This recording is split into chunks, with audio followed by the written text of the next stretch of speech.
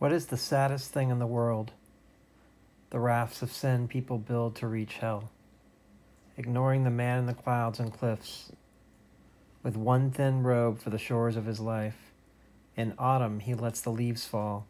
In spring, lets the trees bloom. He sleeps through the three realms free of concerns, with moonlight and wind for his home.